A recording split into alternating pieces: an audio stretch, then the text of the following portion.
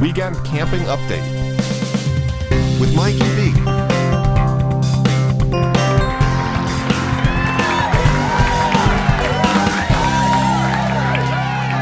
Good evening and welcome to Weekend Camping Update, the show that parks itself in your living room and refuses to leave.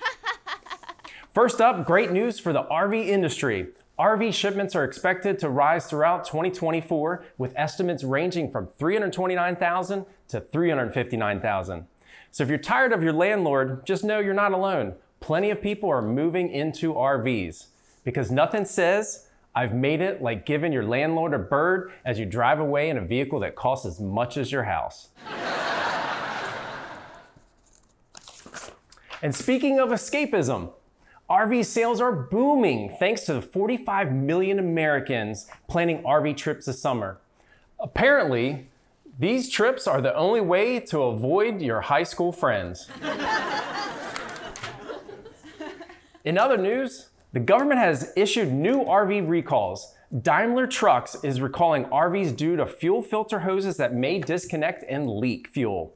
This could potentially cause a fire. But if you spend as much time building campfires as we do, we call that a feature. Better to have it and not need it. Foretravel Incorporated is also recalling some models because of a circuit board that may short and overheat. They say it's to avoid fires, but we all know it's just to prevent people from realizing its true potential as an induction cooktop. and let's not forget Thor Motor Coach recalling RVs due to incorrect circuit breakers that could cause wiring to overheat. Those engineers must have thought, shut it off!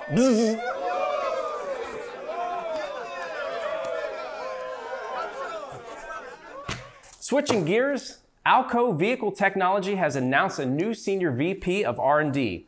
Their goal? To create an RV that doesn't just drive itself, but park itself too.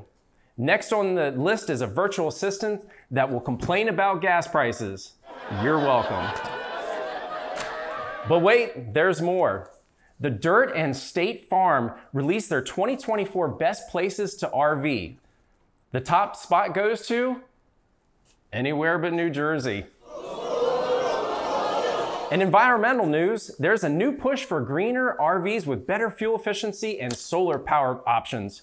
Because why destroy the planet when you can destroy your relationship with your spouse by using a compost toilet? The RV industry is expected to see continued growth next year with rising consumer interest in outdoor lifestyles. So if you see someone backing up an RV in a tight spot, Tell them that looks interesting. Used travel trailer prices are dropping in value because RVs are getting cheaper. For those of you sitting on a portfolio of beanie babies, now's the time to invest. Arksen, known for making yachts, is now making an $11 million RV. When we reached out to Arksen customers and asked, why would you spend so much on a recreational vehicle?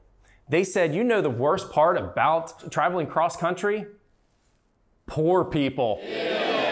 For those of you who think that $11 million is a bit much for an RV, yeah, it is. Camper World is planning the future with new leadership. It's like a relay race, but instead of passing the baton, they're passing the responsibility. That's all for tonight. Weekend camping update. Remember, if it's rolling, you should have chalked the tires.